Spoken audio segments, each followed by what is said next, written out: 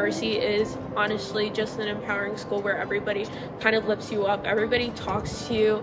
My grade is pretty close with each other, so we all talk to each other. We all know each other, and it's not like you know clicky in other schools where it's like you only talk to your group instead. Like you may have your friend group, but it also branches out into different friendships, which is so lovely. And I've ha- had the opportunity to meet so many new people and um, really get to know my classmates and also my teachers.